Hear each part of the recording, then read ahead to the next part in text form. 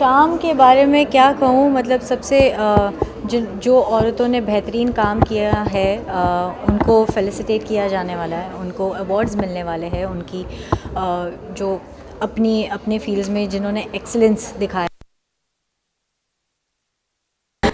एक वुमेन के लिए कोई एक बूस्ट होता है to do better work ahead so savvy awards is all about that आपके अटायर के बारे में भी जानना चाहिए जो मुझे बहुत ही ब्यूटीफुल थैंक यू हाँ जी हाँ जी। तो this is an outfit from Svitasha और आई एम वेयरिंग टुडे और इयरिंग्स और इयरिंग्स और रिंग मैंने पहनी है अनमोल ज्वेलर्स की। इट्स या I love diamonds and it's all diamonds Yes.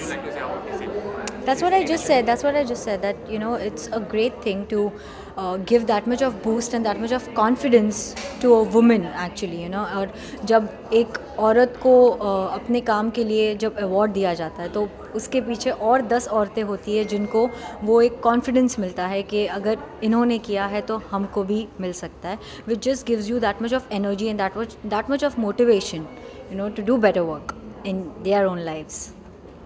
So what is the status of the movie Ram Ratan? Ram Ratan, oh, the film is completed already, yeah. Uh, the film is scheduled to release in October and the post-productions will, like, the promotions will start as soon as possible and right now they are in the post-production phase. Okay, you're also doing a race. Well, to be honest, I have heard things what you're talking about on social media और obviously आप ही के through मुझे पता चला है। Uh, मैं इतना जानती हूँ जब जय हो के टाइम पे रमेश जी ने मेंशन uh, किया था रेस के बारे में बट उसके बाद कोई प्रोग्रेस नहीं हुआ और वो टॉपिक वहीं पे ख़त्म हो गया।